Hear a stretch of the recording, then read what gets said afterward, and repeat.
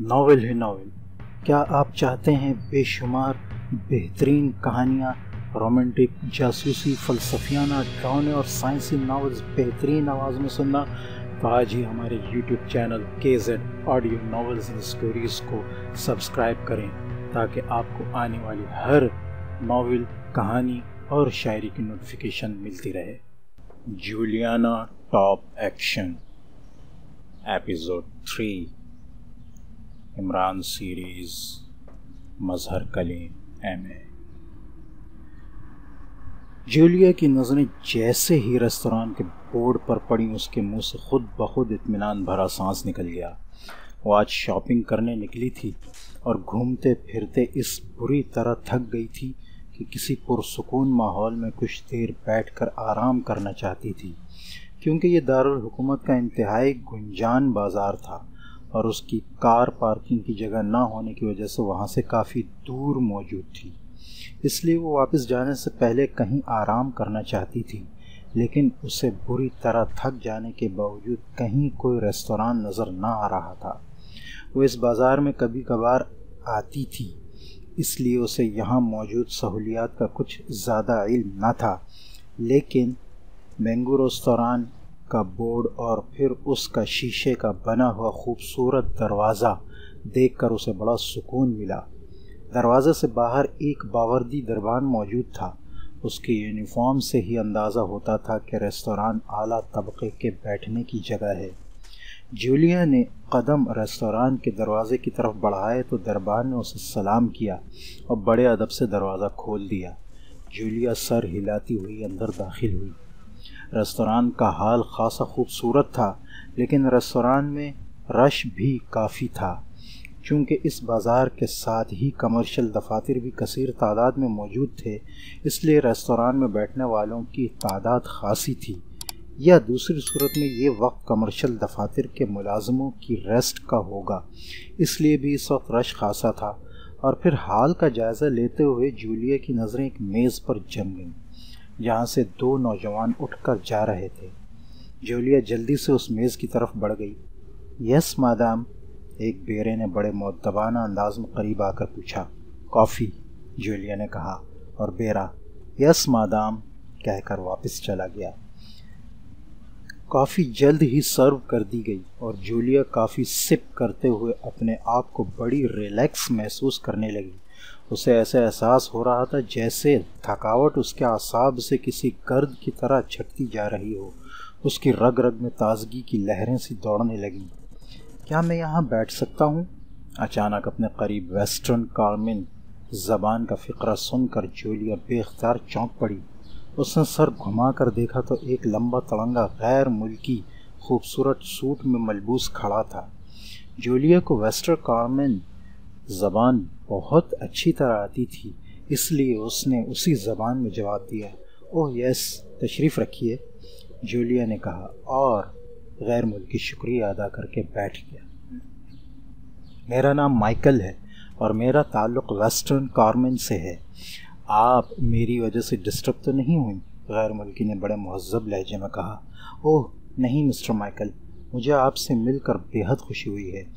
मुझे Juliana fitter water कहते हैं, और वैसे तो मैं स्विस हूँ, लेकिन अब पाकिशिया ही मेरा वतन है जोलिया ने मुस्कुराते हुए कहा। अच्छा वाकई? मुझे ये सुनकर बड़ी हैरत सी महसूस हो रही है। पाकिशिया के लोगों को तो गैर मुल्कियों में एडजस्ट होते मैंने देखा है, वैसे वेस्टर्न कार्मेन में भी काफ़ी तादाद पाकिशियाओं की है।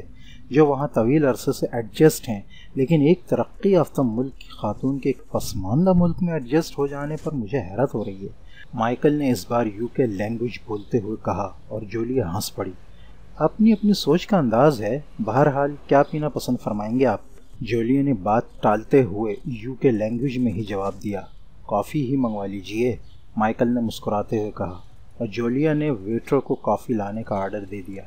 मिस जोलियाना फिटर वाटर मैं पहली बार इस मुल्क में आया हूँ। इसलिए मुझे तो ये सब कुछ अजीब सा लगता है। मेरा ताल्लुक़ हवाई जहाज़ों की सनत से है और मैं इस सिलसिले में यहाँ आया था। लेकिन यहाँ आकर मुझे बेहद मायूसी हुई है, क्योंकि जिन साहब से मैंने मिलना था, वो वेस्टर्न कॉमन ज़बान नहीं जानते और मुझे उनकी ज़बान नहीं आती। लेकिन ये मुलाकात मेरे बिज़नेस के लिए बेहद अहम है। इन साहब ने कहा तो है कि वो किसी मुतरजम का बंदोबस्त करते हैं, लेकिन ज़ाहिर है यहाँ का मुतरजम मेरा माफ़ी ज़मीर इतनी अच्छी तरह अदा ना कर सकेगा। आपसे अगर मैं दरख्वास्त करूँ कि आप अगर सिर्फ़ चंद मिनट के लिए मेरी मुतरजम बन जाएँ, मैं आपके वक्त का माकूल मुआवजा भी दूँगा तो क्या आप मेरे साथ ये मेहरबानी कर सकेंगी? माइकल ने काफ़ी सिप करते हुए कहा, ओह मुआवजे की तो खैर कोई बात नहीं, लेकिन आप तो यूके ज़बान रवानी से बोल रहे हैं और यहाँ यूके लैंग्वेज ही इस्तेमाल होती है जोलिया ने हैरत भरे लहजे में कहा। ओह, आप दुरुस्त फरमा रही हैं। यूके लैंग्वेज तो वो भी समझ लेते हैं, लेकिन मेरी बिज़नेस के सिलसिले में चंद असलाहत ऐसी हैं जिन्हें मैं यूके लैंग्वेज में भी नहीं बोल सकता, और वही अहम है। यहाँ करीब ही माल रोड पर काशिफ एंटरप्राइजेस फर्म है। ये फर्म हवाई जहाज़ों के स्पेयर पार्ट्स डील करती है। इस फर्म के मैनेजर डायरेक्टर हैं जनाब जी इब्राहिम उनसे बात करनी है। माइकल ने कहा ओके ठीक है। अगर मेरी वजह से आपका मसला हल हो सकता है तो मैं खुशी से आपकी मदद करूँगी, जोलिया ने सर हिलाते हुए कहा। माइकल वाकई एक बिजनेसमैन और इंतहाई महजब आदमी नज़र आ रहा था। उसने जोलिया इसकी मदद के लिए तैयार हो गई और फिर काफ़ी पीने के बाद वो दोनों रेस्तोरां से निकले माल रोड की तरफ़ चल पड़े। थोड़ी देर बाद वो एक बहुत बड़े कमर्शियल प्लाजा के अंदर दाखिल हो गए। आखिरी मंजिल में मैनेजिंग डायरेक्टर का ऑफ़िस है। आइए माइकल ने लिफ्ट की तरफ़ बढ़ते हुए कहा और जूलिया ने सर हिला दिया। थोड़ी देर बाद लिफ्ट ने उन्हें आखिरी मंजिल पर पहुँचा दिया। लेकिन जूलिया हैरान थी कि इस मंजिल पर आदमियों की आमदोरफ्त ना होने के बराबर थी। उसे ऐसा महसूस हो रहा था जैसे ये मंजिल आबाद ही ना हो। इससे पहले कि वो हैरत का इजहार करती, माइकल ने आगे बढ़कर एक दरवाज़ा खोला और अदब से एक तरफ़ हट गया। जूलिया ने देखा कि कमरा वाकई किसी शानदार दफ्तर के अंदाज में सजा हुआ था। इसलिए जोलिया को इतमान हो गया और वो अंदर दाखिल हुई, लेकिन अंदर दाखिल होते ही यकलख्त उसके सर पर अकब से क़्यामत सी टूट पड़ी और वो चीखती हुई उछल कर मुँह के बल कालीन पर गिरी। उसने फड़क कर उठने की कोशिश की लेकिन एक बार फिर उसके सर पर धमाका हुआ और इसके साथ ही उसका जहन तारीकियों में डूब गया। फिर जब उसके जहन पर से तारीखी का पर्दा आहिस्ता आहिस्ता सिरकने लगा तो उसने चौंक कर आँखें खोल दी चंद लम्हे तो उसके जहन में कोई एहसास न जागा, लेकिन जैसे ही एहसास जागा, वो बुरी तरह चौंक कर उठ बैठी। लेकिन इसके साथ ही वो हैरत से इधर उधर देखने लगी। वो अपने फ्लैट में बिस्तर पर लेटी हुई थी। क्या मतलब? मैं यहाँ कैसे पहुँच गई? जोलिया ने बेख्तियार सर पर हाथ फेरते हुए कहा, उसे अभी तक सर के इस हिस्से में दर्द का एहसास हो रहा था, जिस पर इस कमर्शियल प्लाजा के कमरे में दाखिल होते वक्त धमाका हुआ था। उसके जहन में रेस्तोरां से निकलकर माइकल के साथ इस कमर्शियल प्लाजा में जाने और फिर सर पर क़यामत टूट पड़ने तक की फ़िल्म तेज़ी से चल रही थी। वो उछल कर खड़ी हुई। उसने अपना लिबास देखा। लिबास बिल्कुल ठीक था, न कहीं से नुचा, न फटा था। क्या चक्कर है? जोलिया ने हैरत भरे अंदाज में बड़बड़ाते हुए कहा, और फिर होंठ काटती हुई वो फ्लैट के दरवाजे की तरफ़ बढ़ी ही थी कि दरवाज़ा खुला और दूसरे लम्हे वो ये देख कर चौंक पड़ी कि दरवाजे से उसका हमसाया नौजवान यासिर, जो किसी यूनिवर्सिटी में पढ़ता था, अंदर दाखिल हो रहा था। उसके साथ एक डॉक्टर था, जिसका बैग यासिर ने उठाया हुआ था। बाजी, आप होश में आ गई? मैं तो परेशान होकर डॉक्टर साहब को ले आया था। यासिर ने मुसरत भरे लहजे में कहा मैं ठीक हूँ, शुक्रिया। लेकिन, जोलिया ने होंठ चबाते हुए कहा, आइए डॉक्टर साहब, मैं आपको कार तक छोड़ाऊँ बाजी तो खुद ब खुद होश में आ गई हैं। यासिर ने डॉक्टर से कहा, आपको अगर कोई तकलीफ़ महसूस हो रही हो तो मैं चेक कर लूँ। यासिर साहब तो बहुत हद परेशान थे। डॉक्टर ने मुस्कुराते हुए कहा, ओह, नहीं डॉक्टर, मैं बिल्कुल ठीक हूँ। आपको तकलीफ़ हुई, मैं शर्मिंदा हूँ। जोलिया ने मुस्कुराते हुए कहा, कोई बात नहीं, आइए यासिर साहब। डॉक्टर ने सर हिलाते हुए कहा और वापस मुड़ गया। मैं अभी आया, यासिर ने मुस्कुराते हुए कहा और तेज़ी से डॉक्टर का बैग उठाए उसके पीछे चला गया और जोलिया होंठ काटती हुई कुर्सी पर बैठ गई। उसका जहन इस अजीब व गरीब वाक़ से वाकई माउस हो रहा था। यासिर उसके साथ के फ्लैट में रहता था, बेहद बाखलाक और हमदर्द नौजवान था। जोलिया को अपनी बड़ी बहन समझता था और अक्सर जोलिया जब बोर होती तो उसे फ्लैट में बुला लेती थी और दोनों में खूब गपशप रहती। वो जोलिया को बाजी कहता था और उसका बेहद अदब करता था। चंद लम्हों बाद दरवाजे पर हल्की सी दस्तक हुई। बाजी में आ जाऊँ? बाहर से यासिर की आवाज़ सुनाई दी। हो यस, कम इन, यासिर। जोलिया ने चौंक कर कहा और यासिर दरवाज़ा खोल कर अंदर दाखिल हुआ। शुक्र है बाजी, आपको होश आ गया, वरना मैं तो बेहद परेशान हो गया था। यासिर ने मुस्कुराते हुए कहा तो मुझे तफसील तो बताओ, जोलिया ने उलझे हुए लहजे में कहा, भाजी, मैं अपने एक क्लास फेलो के साथ आज किंगसन बाज़ार गया था। वहाँ इसके डैडी एक कमर्शियल प्लाजा में ऑफ़िस सुपरिटेंडेंट हैं। वहाँ वो तो अपने बाप से मिलने किसी ऊपर की मंजिल में वाक़ अपने दफ्तर में चला गया और मैं प्लाजा के दरवाजे पर ही उसके इंतज़ार में टहलने लगा। अचानक मेरी नज़र आप पर पड़ी। दो गैर मुल्की आपको उठाए हुए बाहर आ रहे थे। मैं तेज़ी से उनकी तरफ़ बढ़ा तो उन्होंने बताया कि ये खातून अचानक राहदारी में बेहोश हो गई हैं और अब वो उन्हें अस्पताल ले जा रहे हैं। मैंने उन्हें बताया कि आप मेरी हमसाई हैं तो उन्होंने कहा, फिर आप इन्हें ले जाइए। हम गैर मुल्की हैं, कहीं ऐसा ना हो कि किसी मुश्किल में फंस जाएँ। अलबत्त उन्होंने मुझे टैक्सी करके दी और मैं आपको यहाँ ले आया और फिर ड्राइवर की मदद से आपको ऊपर फ्लैट तक पहुँचाया और मैं डॉक्टर को लेने चला गया। वापस आया तो आप होश में आ चुकी थी। आपको क्या हुआ था, बाजी? यासिर ने सारी तफसील बताते हुए कहा, कुछ नहीं, बस चलते चलते अचानक जहन सो गया और अब यहाँ होश आया है। तुम्हारा बेहद शुक्रिया, यासिर, जोलिया ने सर हिलाते हुए कहा। बाजी, मैं आपको अस्पताल इसलिए नहीं ले गया कि वहाँ कोई किसी की परवाह नहीं करता। इसलिए मैंने सोचा कि प्राइवेट डॉक्टर को ही बुला लूँगा, यासिर ने कहा। ओ नहीं, बहुत अच्छा किया तुमने, वरना खाम खा मुझे तकलीफ़ होती। अच्छा बेहद शुक्रिया, यासिर। अब तुम जाओ। मैं कुछ देर आराम करना चाहती हूँ, जोलिया ने कहा, और यासिर सर हिलाता हुआ और फिर सलाम करके बाहर चला गया। जोलिया ने उठकर फ्लैट का दरवाज़ा अंदर से बंद किया और फिर कुछ देर तो वो खड़ी सोचती रही, जैसे फैसला न कर पा रही हो कि उसे क्या करना चाहिए। फिर वो टेलीफोन की तरफ़ बढ़ गई। उसने रिसीवर उठाया, नंबर डायल करने शुरू किए। Yes, Safdar speaking. रबता कायम होते ही सफदर की आवाज़ सुनाई दी। जोलिया बोल रही हूँ सफदर जोलिया ने जवाब दिया। ओह, मिस जूलिया, खैरियत है, आप कुछ परेशान लग रही हैं सफदर ने चौंक कर कहा। उसने शायद जोलिया की आवाज़ से ही उसकी परेशानी का अंदाज़ा लगा लिया था। और जवाब में जोलिया ने बेंगो रेस्तोरान में इस माइकल के मिलने से लेकर होश में आने तक के तमाम वाक़ात तफसील से सफदर को बता दिए। ओह, जूलिया, ये तो वाकई इंतहाई हैरत अंगेज़ बात है। वाक़ात से तो ज़ाहिर होता है कि आपको बाकायदा ट्रैप किया गया है, लेकिन ट्रैप करने वालों का मकसद क्या था? ये समझ में नहीं आया।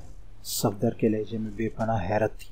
यही बात तो मेरी समझ में भी नहीं आ रही। पहले मैंने सोचा कि एक्स टू को इसकी तला दूँ, लेकिन फिर मैंने इरादा बदल दिया। तुम ऐसा करो कि ज़रा इस कमरे तक जाकर देखो। शायद किसी बात का पता चल जाए, जोलिया ने कहा। बिल्कुल, मैं अभी जाता हूँ और फिर वहाँ चेकिंग करके मैं आपके पास आ रहा हूँ। सफदर ने कहा और जोलिया ने थैंक यू कहकर रिसीवर रख दिया और किचन की तरफ़ बढ़ गई ताकि वहाँ चाय तैयार करके उसका एक कप पी सके। उसे इस वक्त चाय की शदीद तलब हो रही थी। चंद लम्हों में उसने इलेक्ट्रिक केतली की मदद से चाय का एक कप तैयार किया और फिर वो चाय का कप लेकर आराम कुर्सी पर बैठ गई। उसका जहन बुरी तरह उलझा हुआ था। उसे इस सारे वाक़ का कोई सर पैर ही नज़र न आ रहा था।